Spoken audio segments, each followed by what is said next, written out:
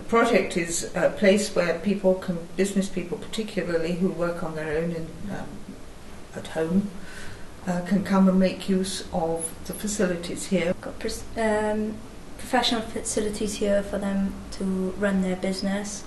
Um, maybe things that they don't have at home. So we're basically we're a co-shared working space where people uh, they can use as a professional front for their business, use the meeting rooms, uh, bring their office here basically. There are a lot of businesses in uh, the rural areas around the, Llandovery town particularly which have very weak broadband and they have difficulty downloading their uh, the stuff they need for work, the various other aspects that even the phone signals can be a bit um, difficult there.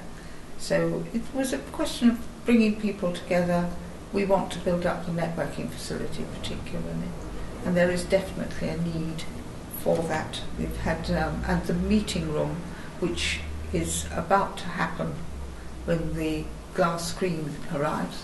Um, that will make all the difference because we will have a meeting room that will be secluded and private. So we've got broadband facilities here, printing facilities here, laminating, anything they need to run a business really. Mm. Yeah, it's just not just for businesses. The general public can use our facilities or bring their own laptops in. We welcome them.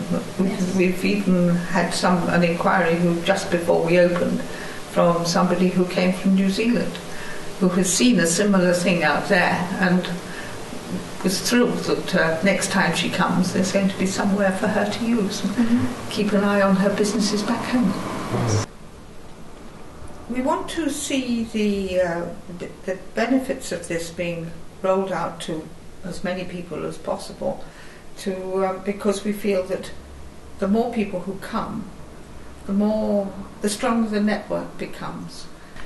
Llandovery Town Council had to find ways of funding this building and we had to find a way of making this place pay. So that was when we thought of the hub. Uh, the feasibility study was set in, motion. Uh, we then had to act very quickly, uh, which may have upset a few local people in the process. But now uh, they are far more positive. They know that we are looking for a new centre for heritage for the town, a bigger, better, more vibrant facility uh, using um, Heritage Lottery funding. And this was the first step.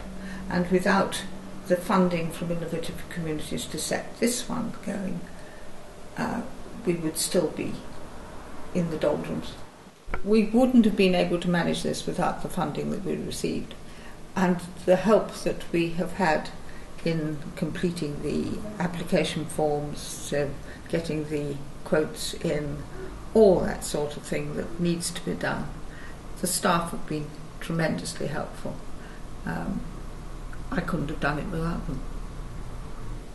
Come and see us at the hub in Llandovery. Come and see what the fuss is about at the Llandovery Hub.